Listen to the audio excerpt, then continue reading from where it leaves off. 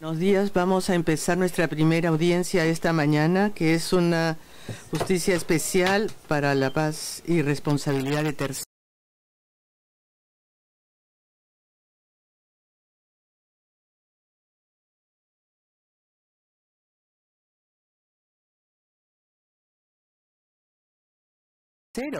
en Colombia. Esta audiencia fue solicitada por diversas organizaciones de la sociedad civil que se van a presentar y el Estado está representado acá por el ministro, honorable ministro, el embajador de Colombia y otros funcionarios del Estado de Colombia que también se van a, presentar. Cada parte va a tener 15 minutos para poder presentar su caso sobre este asunto. Muchas gracias. Eh, muy buen día, señora presidenta, señores comisionados, señora secretaria junta, eh, señores de la ilustre delegación estatal. les habla yo, María Ortegón Osorio, del colectivo de abogados Alvear Restrepo y de la Federación Internacional de Derechos Humanos. La presente audiencia se presenta con el propósito de alertar a la honorable comisión en el marco de su función de seguimiento a la implementación de los acuerdos de paz en Colombia sobre los riesgos que presentan algunos artículos, en particular de dos leyes, la Ley 1820 de 2016 y el Acto Legislativo 01 de 2017 que reforma la Constitución, expedidos en desarrollo del punto quinto sobre derechos de las víctimas del acuerdo de paz. El acuerdo que crea el Sistema Integral de Verdad, Justicia, Reparación y Garantías de No Repetición establece una jurisdicción especial para la paz que tiene una competencia universal y amplia. Es decir, a ella, a la JEP, deberían presentarse no solamente los combatientes, sino todos aquellos actores que tuvieron una participación directa o indirecta en la Comisión de Crímenes Internacionales. En este universo se encuentran los llamados terceros, a quienes nos referiremos en esta audiencia como actores privados o empresarios comprometidos en la comisión de graves crímenes.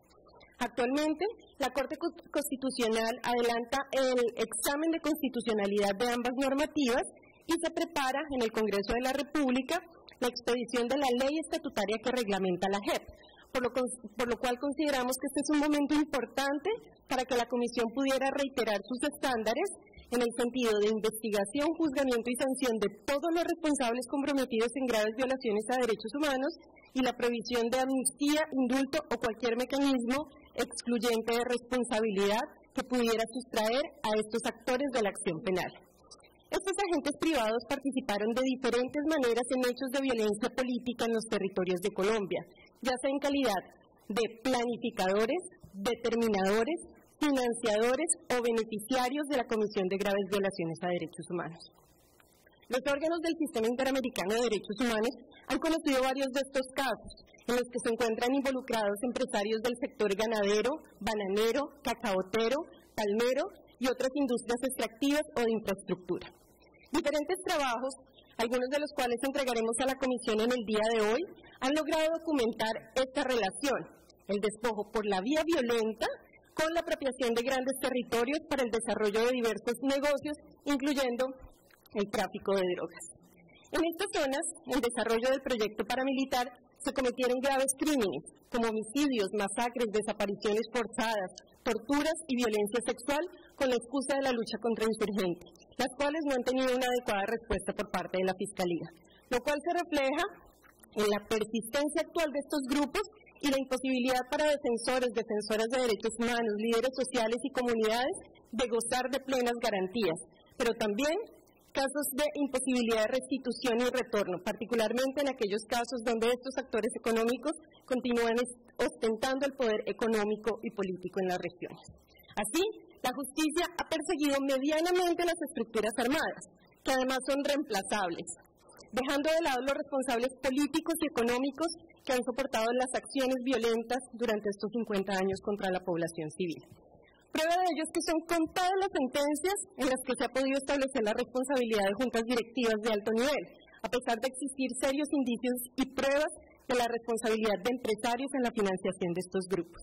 Esto afecta igualmente el derecho de la sociedad colombiana a conocer la verdad sobre las causas de los crímenes eh, quiénes los financiaron y quiénes contribuyeron y se beneficiaron de esta criminalidad estatal y corporativa. Aunado a la, a la inacción histórica de la Fiscalía, durante los últimos 12 años se aplicó la Ley de Justicia y Paz, Ley 975 de 2005. En este escenario, al que comparecieron exintegrantes de grupos paramilitares, se conocieron por los nombres de por lo menos 120 empresas que fueron mencionadas por tener alguna relación con el paramilitarismo.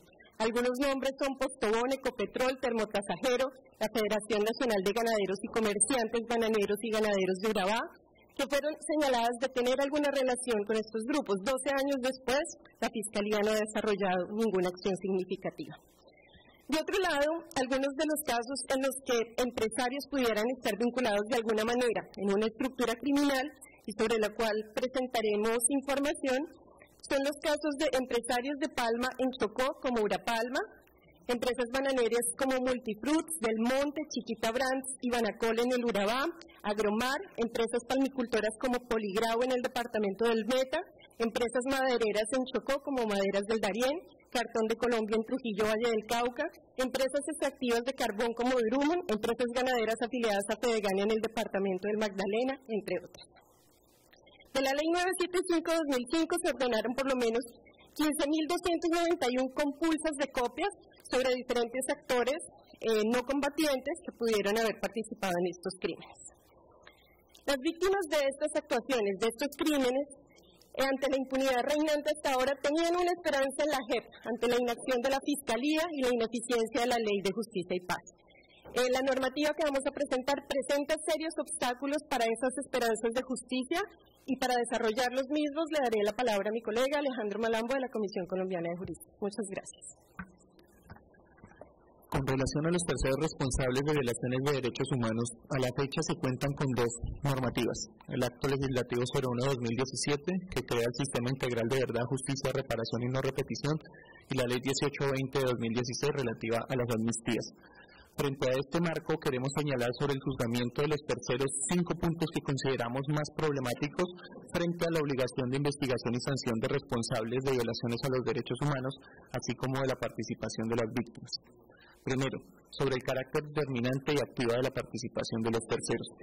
En el marco legal existente respecto al procesamiento de terceros en la JEP, se introdujeron modificaciones que consideramos limitan su responsabilidad y la posibilidad de ser investigados en este escenario, al estipularse en el artículo 16 transitorio del Acto Legislativo 01-2017 que serán de su competencia los terceros que tengan una participación activa y determinante en la comisión de graves delitos, tales como ejecuciones extrajudiciales, desplazamiento forzado, desaparición forzada, entre otras, definiéndose este concepto de participación activa y determinante como, abro comillas, aquella acción eficaz y decisiva en la realización de los delitos enunciados.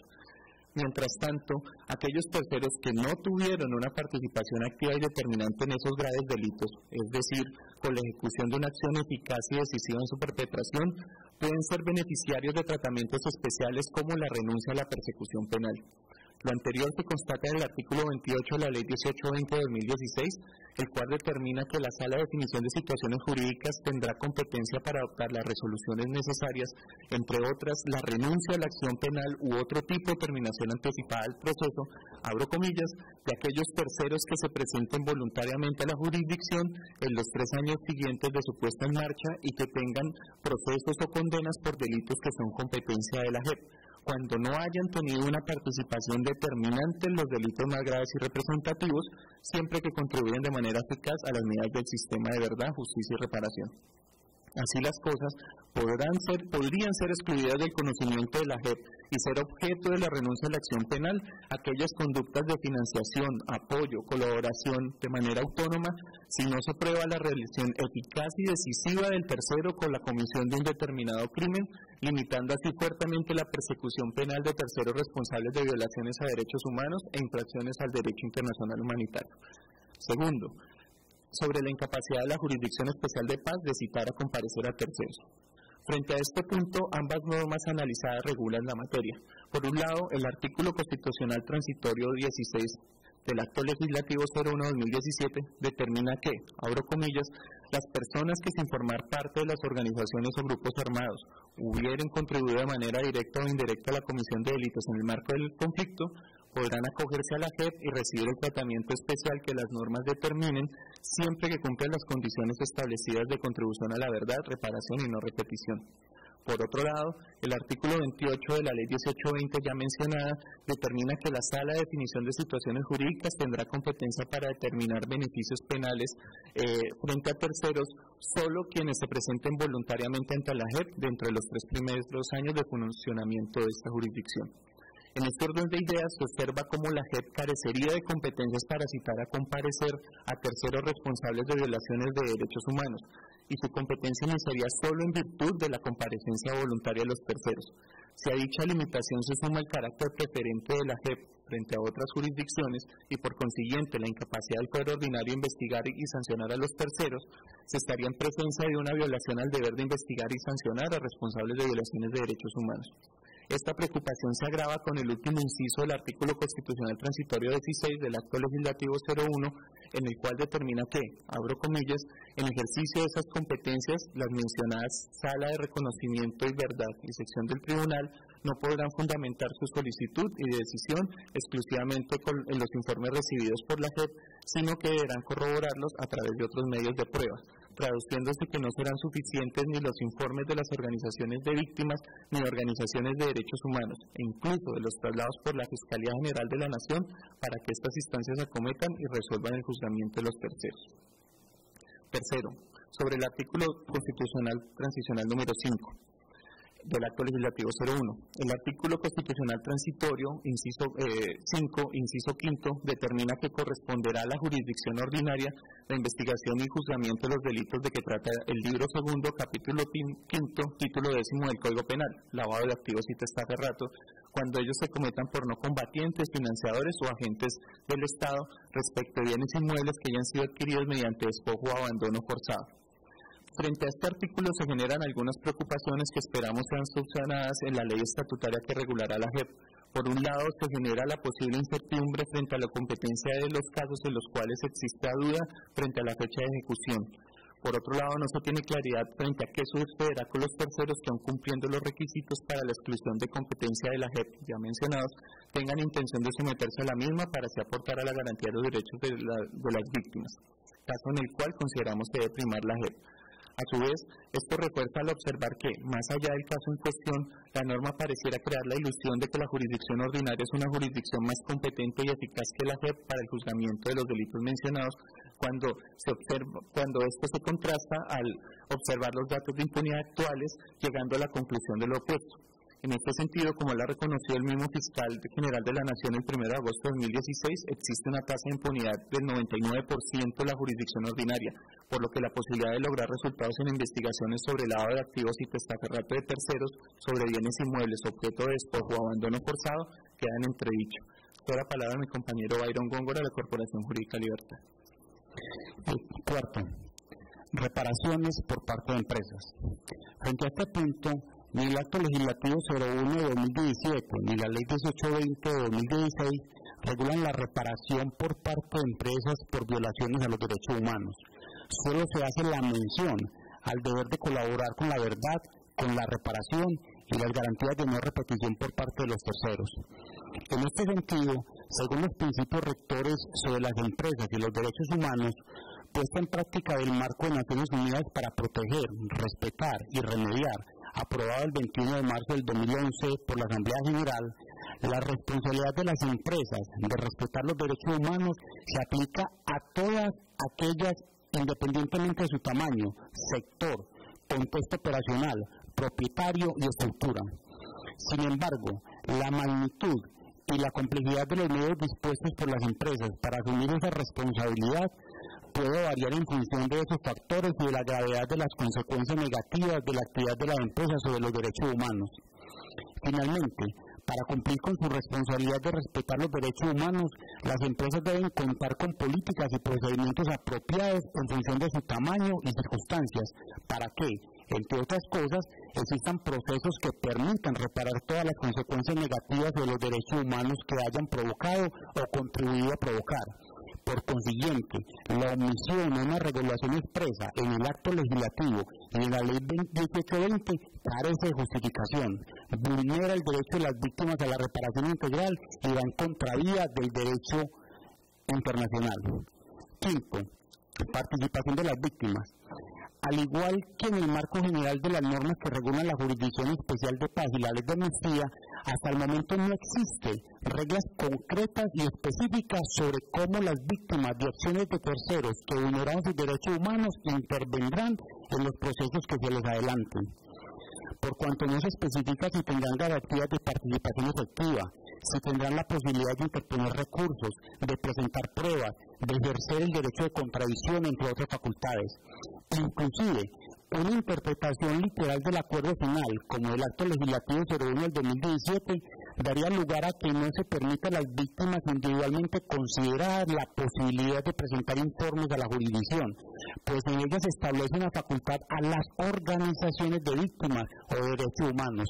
Sería importante que en la reglamentación de la Jurisdicción Especial para la Paz se precisara esta facultad, quedando expresamente consagrada que las víctimas individualmente consideradas podrán presentar informes. Soy la palabra a mi compañera Claudia Nerazo de la Corporación Jurídica de Castro, quien presentará la. Muchas gracias. Atendiendo a las anteriores consideraciones, las organizaciones firmantes consideramos que con el propósito de lograr una adecuada implementación de la Jurisdicción Especial para la Paz que responda de manera eficaz y adecuada a las problemáticas existentes en relación con la judicialización de particulares responsables de violaciones de derechos humanos, al igual que para garantizar el cumplimiento de las obligaciones del Estado en la materia, consideramos que se deberían tomar las siguientes medidas, entre otras. A la Comisión Interamericana de Derechos Humanos, un pronunciamiento a favor de la obligación estatal de investigar a todas las personas que sin formar parte de las organizaciones y grupos armados son responsables de violaciones de derechos humanos en aras de garantizar los derechos de las víctimas, a la verdad, la justicia, la reparación y la no repetición. A la, a la honorable comisión, un pronunciamiento a favor de la necesidad de determinar la responsabilidad penal de personas que por su función o cargo de representación dentro de las empresas cumplieron un papel determinante en la Comisión de Violaciones a los Derechos Humanos o se beneficiaron de las mismas. Derivado de la declaración anterior, que los recursos de las empresas contribuyan en la reparación integral a las víctimas.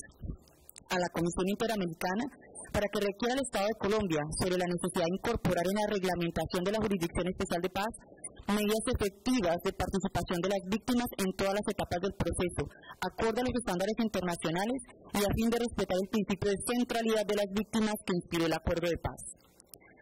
Teniendo en cuenta que el señor presidente de la Comisión, mediante comunicado número 178 de diciembre de 2016, hizo expresa su intención de dar monitoreo, a la reglamentación e implementación del acuerdo de paz, solicitamos a la Comisión que en ejercicio de sus facultades establecidas en el artículo 41 literal D de la Comisión Americana, solicite de forma urgente al Estado colombiano proporcionar un informe sobre el estado de reglamentación de la jurisdicción para la paz que incluya las medidas implementadas para garantizar de manera efectiva los derechos de las víctimas, incluida su participación, y el cumplimiento del Estado del deber de investigar a todos los responsables.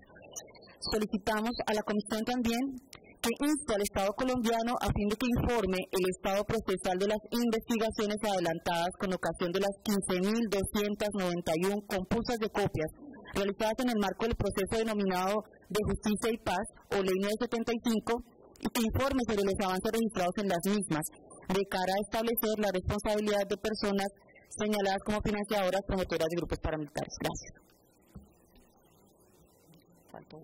Um. Uh, Muchas gracias. Muchas gracias, se pasó un poco el tiempo, entonces le va a tener que dar dos, dos minutos y medio más para la otra parte también en su, en su presentación. El Estado de Colombia ahora tiene la palabra. Gracias, eh, Presidenta, señores comisionados, señora Secretaria, señores peticionarios. Colombia agradece de manera especial eh, la convocatoria y la reflexión sobre este tema que es de la mayor importancia. Colombia, con orgullo, exhibe ante el mundo su capacidad para llegar a un acuerdo que ha puesto fin al conflicto armado y que se expresa en estos momentos con hechos como el de dejación de armas y otros que materializan eh, la capacidad para resolver por la vía de la civilización y de la democracia uno de los grandes conflictos del continente. Por ello, cuando se cita a tratar este tema, nos llena de complacencia y estamos eh, en el camino de continuar en estas reflexiones que permitan elaborar cada vez de mejor forma una institucionalidad que es inédita, es de los pocos procesos de paz en el mundo contemporáneo que va acompañado de un esfuerzo monumental para crear una arquitectura institucional de justicia que permita precisamente investigar en forma absoluta todos los hechos eh, que han eh, conducido a esta situación, pero con un aspecto fundamental, y es que las víctimas son el eje central de este esfuerzo que ha adelantado el gobierno, es decir, la reparación, la no repetición, la verdad, y la mejor manera de la no, de la no repetición es precisamente el esfuerzo que se adelanta, en el cual la sociedad civil ha participado de manera decidida, lo cual eh, celebramos y esperamos seguir trabajando eh, de manera constructiva y positiva. En ese orden de ideas, eh, señora Presidenta, el gobierno colombiano, dada la importancia del sistema y del hecho, pues presenta en su exposición el señor ministro de Justicia, el doctor Enrique Gil, para que adelante los avances y las explicaciones sobre el particular y en el mismo sentido al exministro de Justicia de Reyes y ambos profesores eh, en la materia para eh, expresar y señalar cómo todo este esfuerzo eh, sin precedentes en Colombia y en el continente estarán acompañados siempre del cumplimiento de los estándares internacionales para la satisfacción de los derechos y ese equilibrio entre justicia y paz que es el leitmotiv que nos orienta en todos estos esfuerzos, señor ministro. Muy buenos días, un cordial y respetuoso saludo para la honorable comisión e igualmente a los peticionarios y a la sociedad civil. Eh, Colombia particularmente agradece la posibilidad de este espacio y de esta audiencia temática que nos permitirá dar respuesta algunos de los planteamientos que han formulado los peticionarios y en este tema quiero aclarar varios aspectos sobre el tratamiento penal que recibirán los terceros ante la JEP. Primero, la aplicación de la JEP a terceros civiles está definida hoy principalmente en el acuerdo final para la terminación del conflicto y en el acto legislativo 01-2017, como lo han señalado los peticionarios. Estos instrumentos normativos en ninguna medida, pero en ninguna medida, afectan la posibilidad de juzgar a terceros responsables en el marco de la JEP. Por el contrario, este marco normativo establece las premisas y las bases necesarias para que los jueces en esta nueva jurisdicción logren efectivamente, uno, por un lado, de manera particular, identificar, juzgar y sancionar a los terceros civiles que tuvieron una participación activa o determinante en la comisión de los crímenes más graves y representativos ocurridos en el marco del conflicto armado en Colombia. Dos, por el otro y en general, la, resolver la situación jurídica de todos los terceros civiles que tuvieron alguna responsabilidad en el conflicto armado y que tienen la voluntad de reconocer esta participación y contribuir a la satisfacción de los derechos de las víctimas. Reitero, este es un salto cualitativo frente a la implementación de otros instrumentos de justicia transicional en Colombia y es una muestra clara de la voluntad del gobierno de investigar, juzgar y sancionar a todos, y subrayo, a todos los responsables de violaciones a los derechos humanos e infracciones al derecho internacional humanitario ocurridas en el marco del conflicto armado en Colombia la ley de amnistía e indulto y los tratamientos penales especiales citadas por los peticionarios, específicamente el numeral octavo del artículo 28 de la ley, es una transcripción del punto 50F del acuerdo final y hace referencia a la aplicación de la JED a estos terceros civiles. Segundo, de acuerdo con lo señalado en los puntos 32, 50 y 63 del acuerdo final, y en el artículo transitorio 16 del acto legislativo 01-2017 que precisamente ayer en una audiencia la Corte Constitucional citó al gobierno y a los diferentes estamentos del pueblo colombiano, tuve la oportunidad en las horas de la mañana de participar precisamente frente a esta audiencia convocada por la Corte Constitucional para pedir la exequibilidad de ese acto legislativo. Vemos pues que en el acto legislativo existe eh, en estos dos en estos dos elementos normativos que ya he señalado existe uno un tratamiento general a todos y subrayo a todos los terceros civiles que hubieran contribuido de manera directa o indirecta en la comisión de cualquier delito en el marco del conflicto armado y que se presenten voluntariamente a la jurisdicción. Ese es el tratamiento general. Y dos, un tratamiento específico que es donde debe estar la lectura a aquellos terceros que han tenido participación activa o determinante en la comisión de los crímenes internacionales, es decir, graves violaciones a los derechos humanos e infracciones al derecho internacional humanitario, que no solo pueden presentarse voluntariamente, sino que además la jurisdicción, la JEP, tiene la competencia para obligarlos a comparecer ante la misma para proceder a la correspondiente sanción. Serán la ley estatutaria, y las normas procesales y el reglamento las que decidirán, según el caso, el procedimiento apropiado y así lo expresa el acuerdo y el acto legislativo.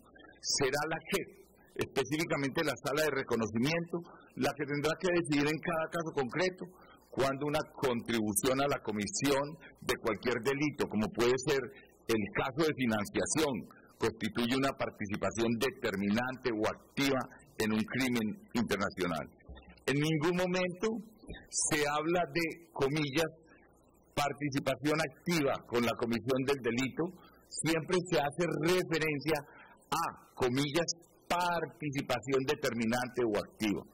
Por eso no es posible afirmar que el acuerdo o el acto legislativo están excluyendo en forma alguna del conocimiento de la Jurisdicción Especial para la Paz aquellas conductas de financiación, apoyo, colaboración con estructuras paramilitares de manera autónoma. Comillas, si no se prueba la relación directa y determinante del tercero con la comisión de un determinado crimen, como señalan los peticionarios.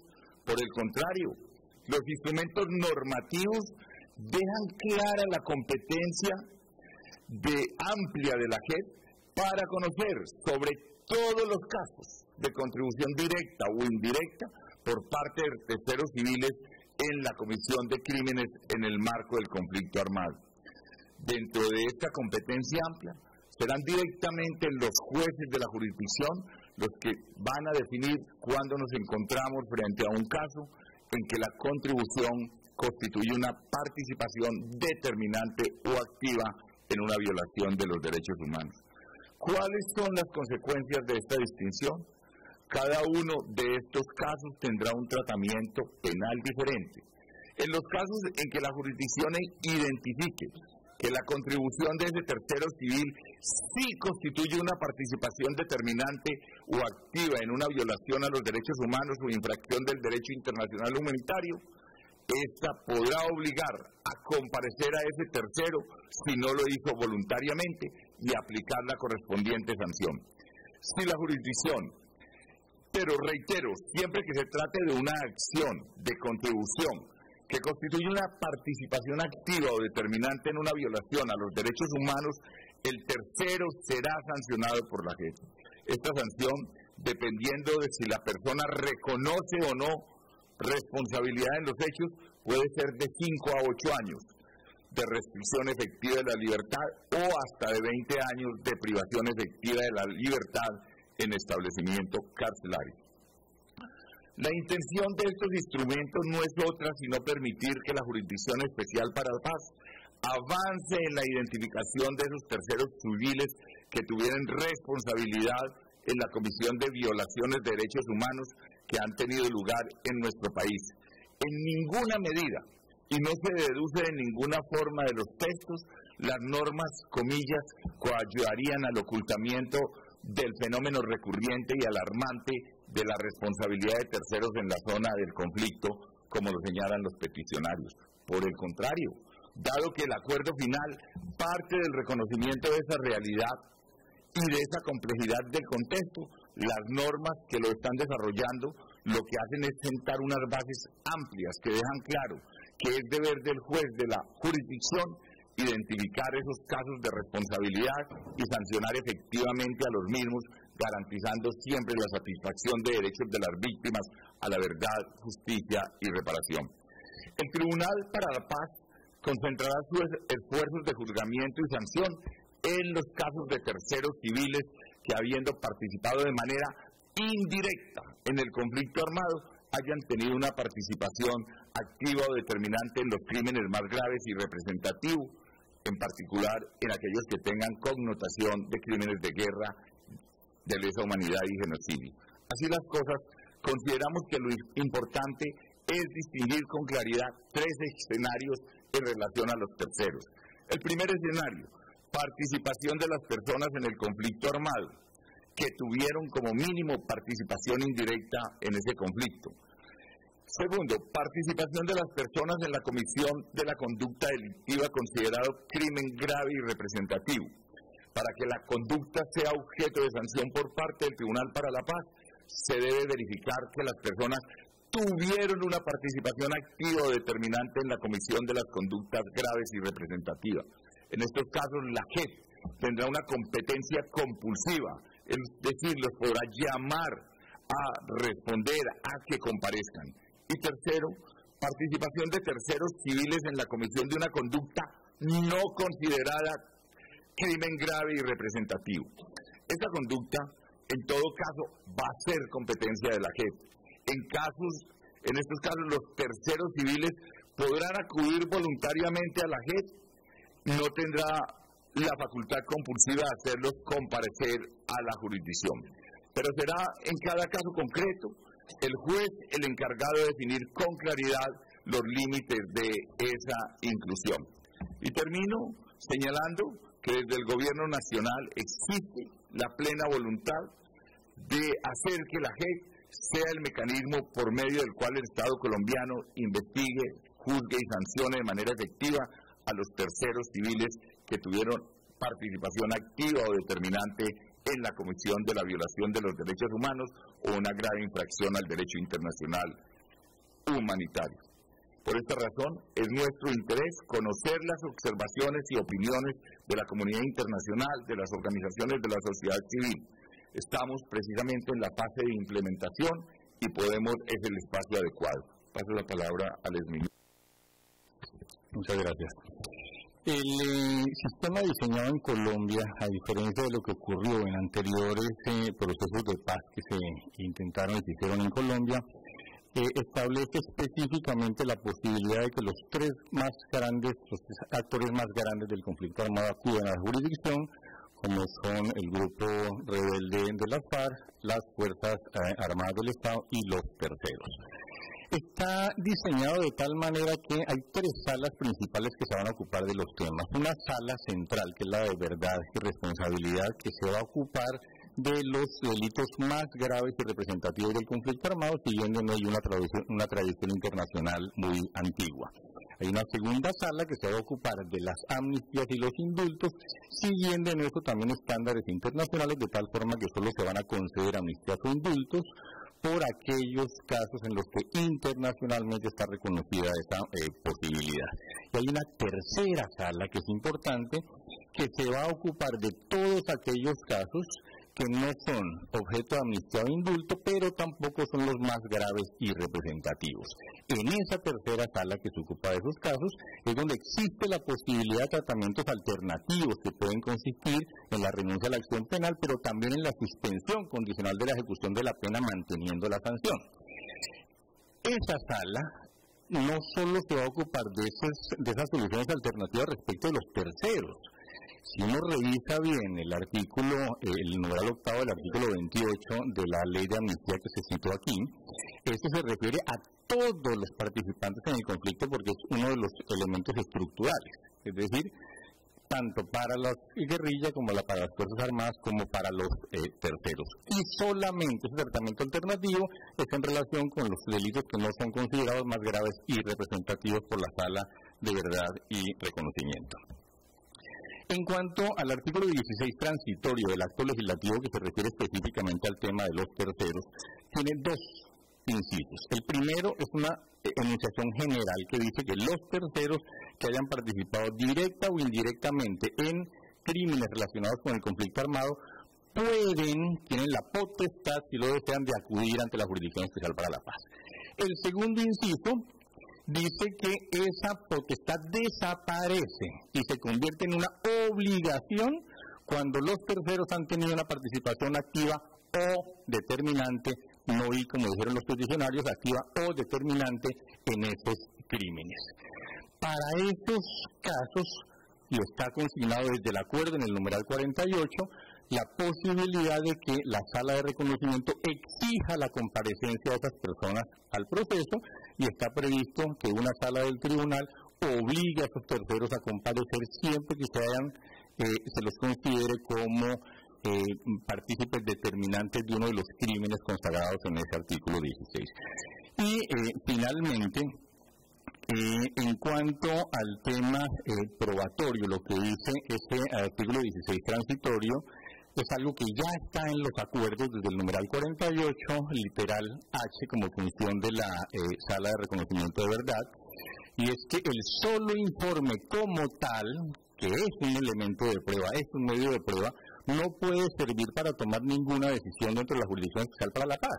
Tiene que ser valorado junto con otros medios de prueba que se aporten al proceso. Está desde el acuerdo, repito, numeral 48 eh, literal H, y eso no excluye la posibilidad, por supuesto, de que los informes tengan anexos medios de prueba. Lo que excluye la posibilidad de que el solo informe como documento que es sea suficiente para tomar alguna decisión dentro de la JEP. Entonces no se excluye la posibilidad de utilizar medios de prueba. Lo que se está obligando es a que, junto con el informe, repito que en cuanto a documentos medios de prueba, se valoren otros medios de prueba que se lleven a la Jurisdicción Especial para la Paz. Todo eso va a garantizar entonces que los terceros, incluso los financiadores, tengan la necesidad de acudir a la Jurisdicción Especial para la Paz porque la financiación de los grupos al margen de la ley puede considerarse una participación indirecta, como dice el primer párrafo del artículo 16 transitorio, y determinante, como dice el artículo, el inciso segundo del artículo 16 transitorio. Muchas gracias.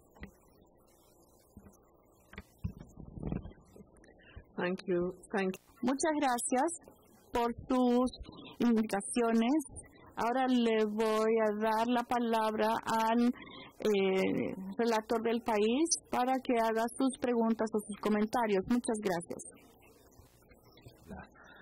una representación de las organizaciones solicitantes, así como la digna delegación del Ilustre Estado de Colombia por su uh, uh, importante participación en esta audiencia que le permite a la Comisión Interamericana dar seguimiento y obtener una mejor comprensión del proceso de implementación de los acuerdos de paz a fin de lograr que la misma sea estable y duradera y que las víctimas de las violaciones a sus derechos humanos con, motivo del conflicto armado puedan obtener justicia, verdad, reparación y no repetición.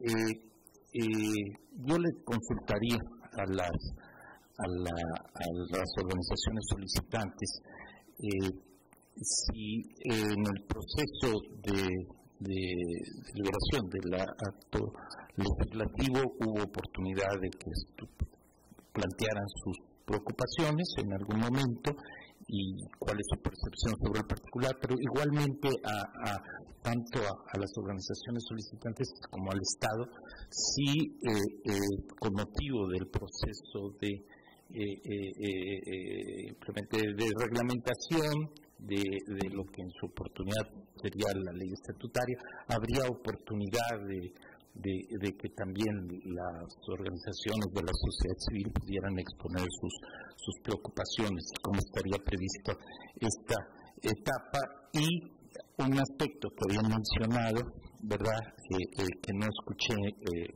quizás por el tiempo, pero lo relativo y la preocupación de que eh, en, en su oportunidad se garantice a las víctimas una participación eh, eh, en lo individual durante las diversas etapas del, del proceso, ¿verdad? Ya me estoy refiriendo a los procesos en particular, no al de la reglamentación. Bien, ese es un aspecto. Ahora, yo advierto y, y, y, también esta, lo que, la explicación que da el, el, el, Estado en cuanto al alcance del acto legislativo y en concreto el artículo 16, su oportunidad, yo, yo les agradecería la, percepción de que tengan las organizaciones solicitantes, pero que también el Estado pudiera ampliar en su oportunidad o por escrito este, el, el que efectivamente eh, eh, si se estaría eh, garantizando que los actos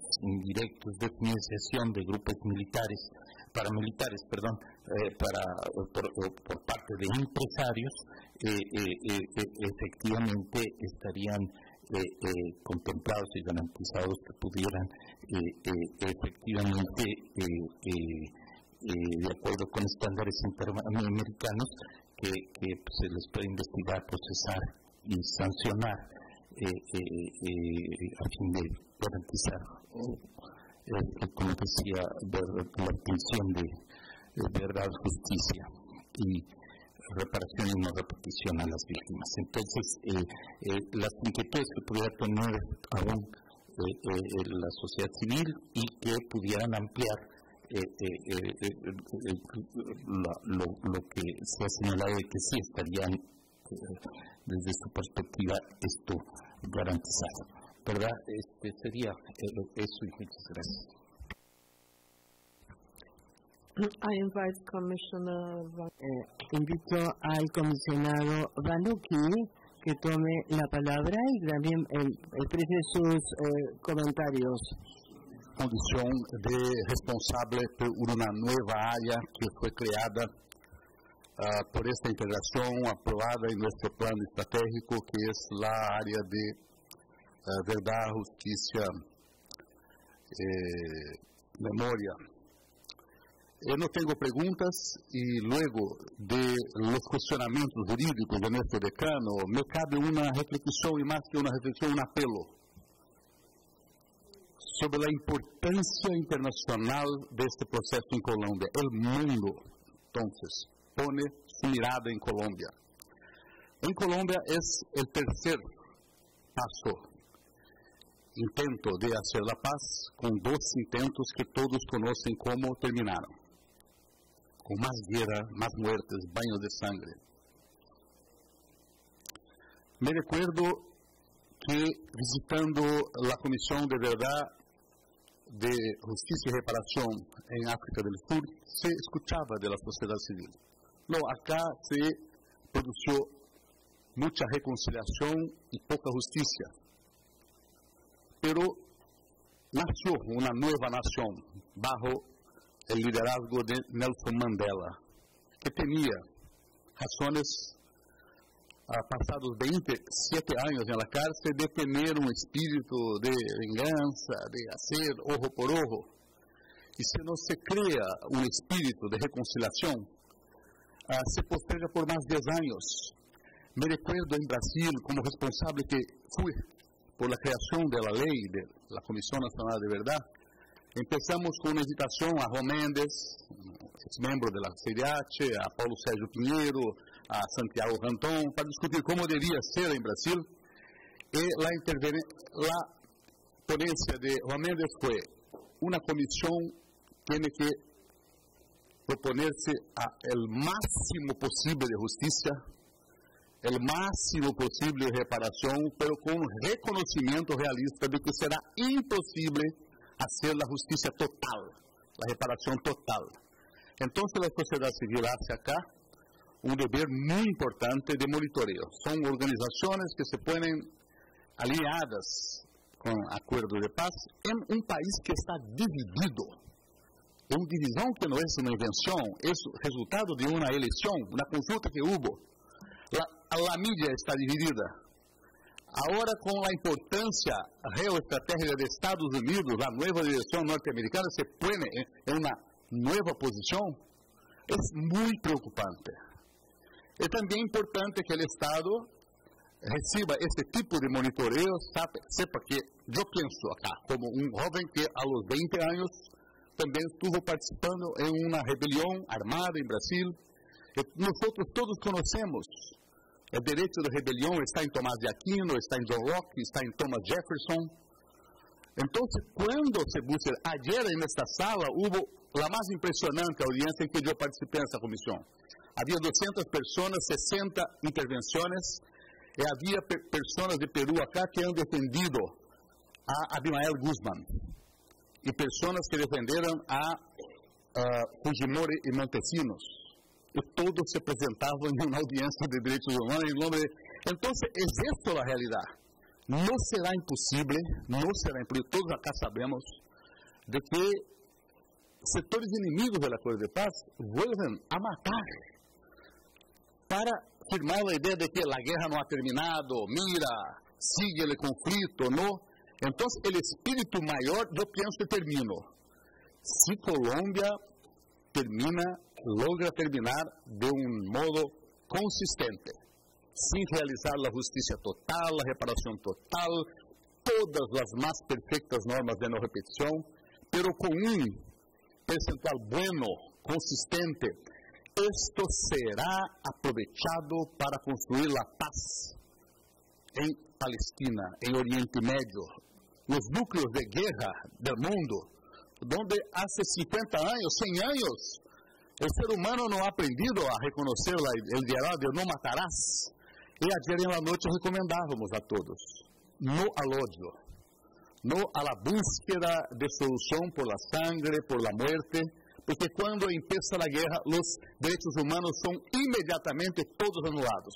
Direito humano é eh, a preservação da vida. Um, um saludo especial a tener acá, eh, na delegação do Estado de Colômbia, um colega que era meu vecino decía, eh, essa é a riqueza desta comissão, que tem uma pessoa como Cavalaro, um ícone da sociedade civil, de Derechos Humanos e pessoas como ele que estuvo no Poder Judicial, Steinway, estuvo na Comissão, que de Brasil, também o doble perfil e tantos outros. Não? É um apelo para não deixar essa experiência de Colômbia fracassar. Muitas graças. Um, Commissioner Caballero.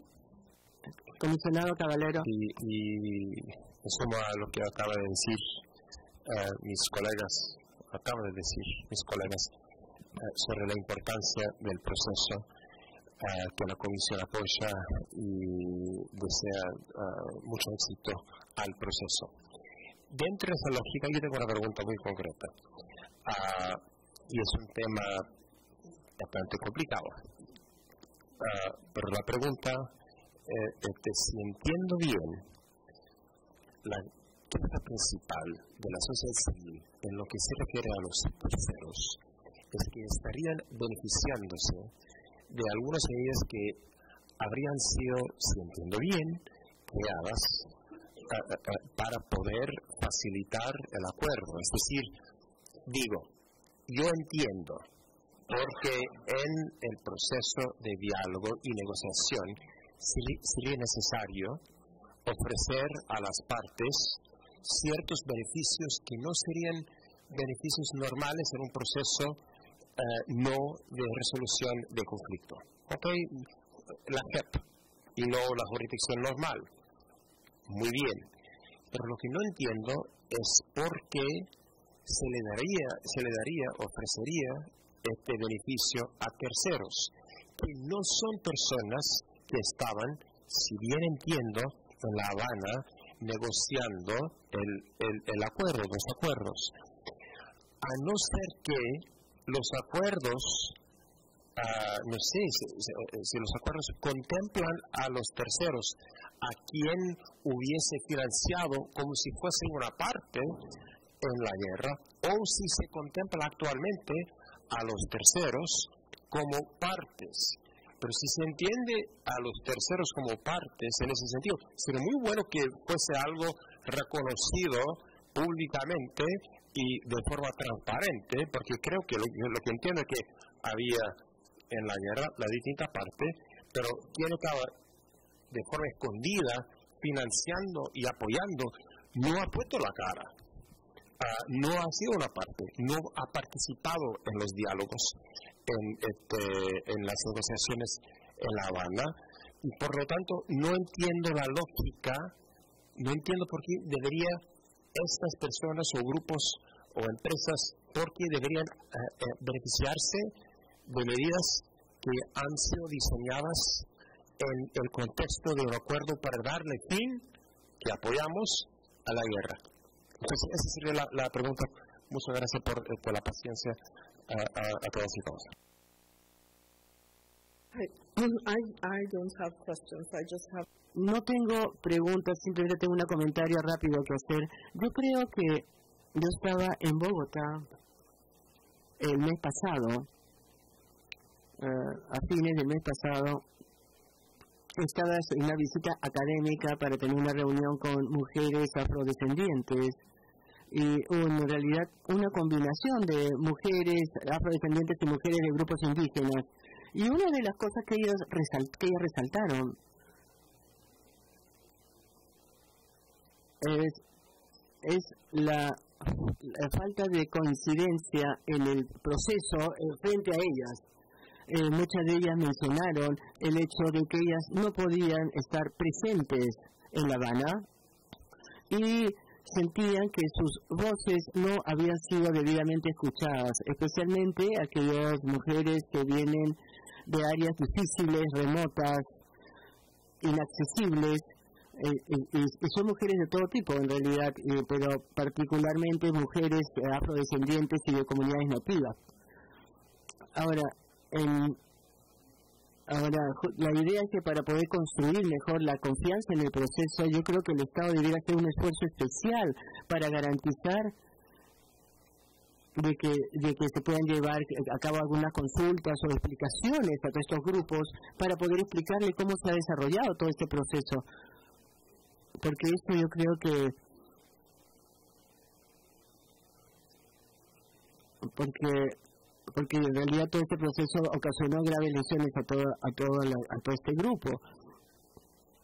Y también sería importante que sus voces se escuchan, darles la oportunidad a estos grupos para que puedan manifestar desde el fondo de sus corazones, porque yo creo que esto es parte de lo que se llama este ejercicio de reconciliación para poder detener cualquier sentimiento de injusticia o de amargura que alguien pueda manifestar, ¿no? Ya sea una persona, una comunidad o un grupo.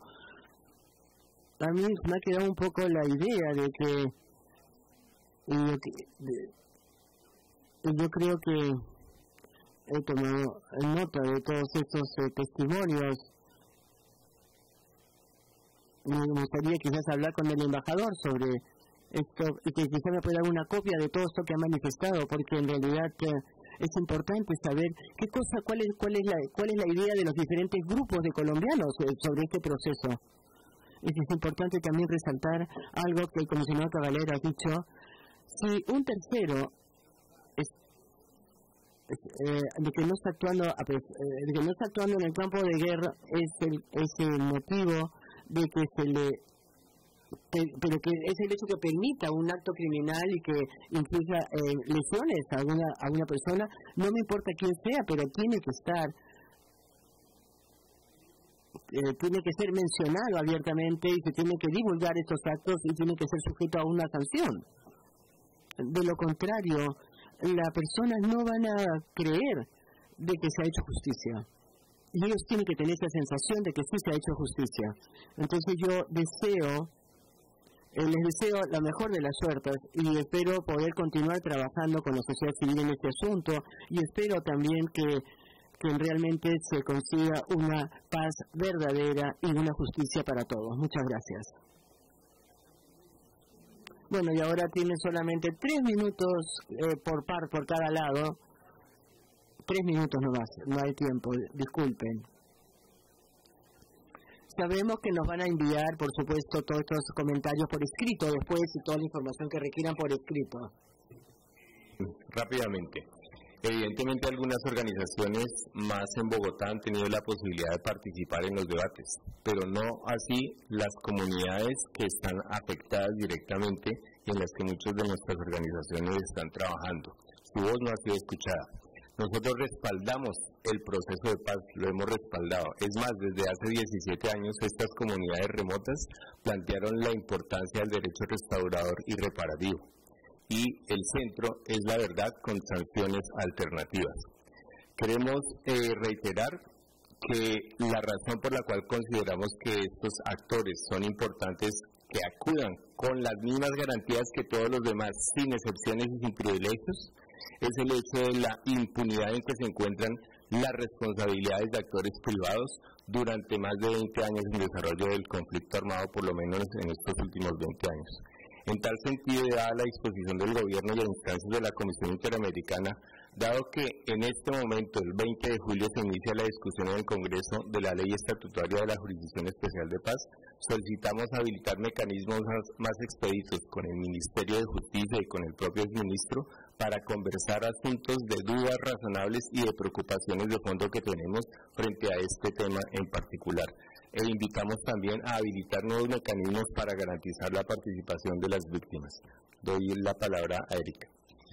Muchas gracias, señores comisionados y demás personas presentes. Eh, creo que lo que aquí es necesario también resaltar, como eh, se ha dicho y se ha manifestado por mis colegas, precisamente en esta etapa de reconstrucción de confianzas, también es importante que los resultados, pues hasta el momento, por el tema de las omisiones y de la impunidad que hay en el país, pues es reinante.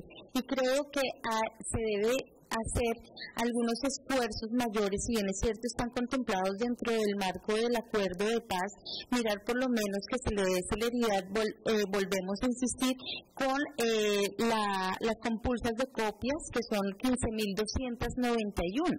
Entonces, creemos que hay que darle celeridad a, ello para romper los círculos de violencia que se siguen dando actualmente en el país por precisamente la impunidad que, se da. Asimismo, creemos importante y de suma importancia que se dé una verdadera autonomía e independencia a la unidad especial de investigaciones y desmantelamiento de las estructuras criminales y sucesoras del paramilitarismo. Si logramos esto, de una u otra manera vamos a lograr realmente que las garantías de no repetición se den y no simplemente queden de manera expresa o explícita en los acuerdos, pero en la práctica no se cristalicen. Asimismo, también consideramos que es pertinente que en el acuerdo está también de manera explícita mencionado eh, las garantías para las víctimas, el universo de víctimas. Y lo que hemos también encontrado es que muchas veces se hace una, eh, si se quiere, eh, no se tiene en mayor proporción a las víctimas que históricamente han sufrido flagelos como eh, los mal llamados falsos positivos, etcétera. Entonces creemos que debe haber una escucha en general para todos los sectores de víctimas y las poblaciones civiles que han sido afectadas altamente por el conflicto armado. Gracias.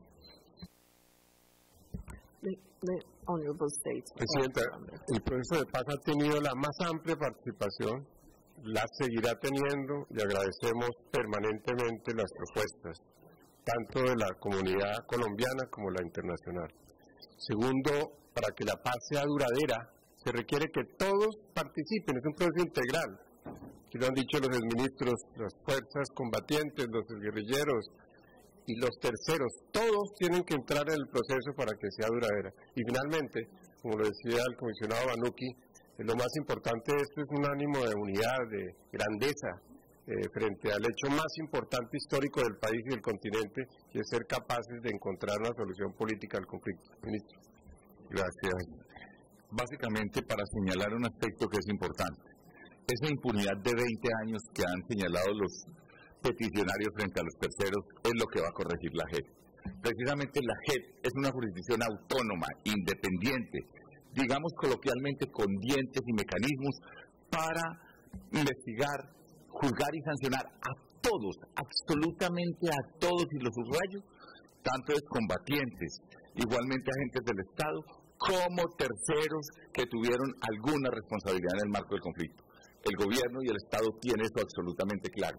Y lo tenemos cimentado a través de tres, efectivamente, tres marcos normativos que son el eje la arquitectura, el acuerdo final de paz. Que el acuerdo final de paz es ejemplo en el mundo y como lo señalaba el comisionado Anuki, Colombia ha terminado una guerra de 53 años. Una guerra y en un término récord histórico está dando una plataforma para resolver otros conflictos, extrapolar hacia, la, hacia el mundo conflictos de vieja data.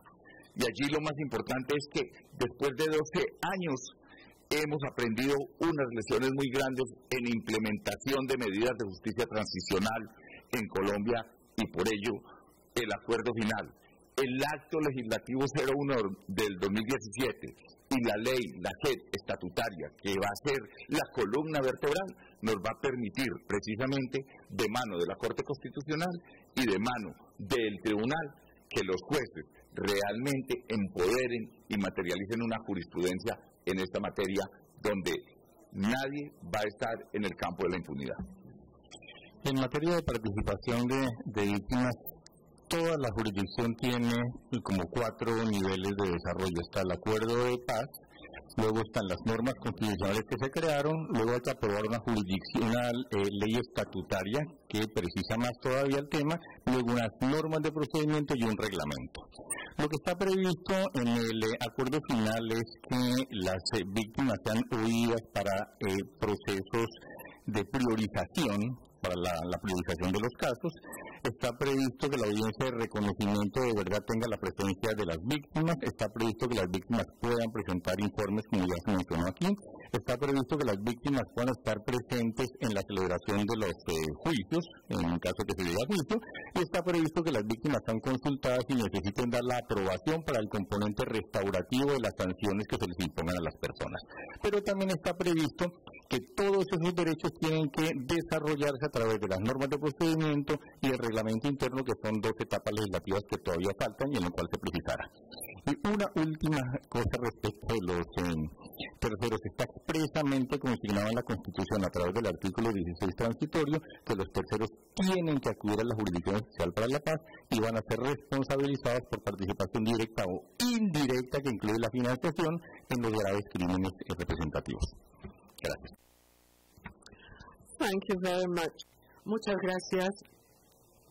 Esperamos entonces que presenten algunos documentos por escrito y cualquier otra que, que, consideren que podría ayudar a la comisión en una decisión. Habiendo dicho esto, se da por concluida esta audiencia. Muchas gracias. La próxima audiencia va a empezar a las diez y cuarto.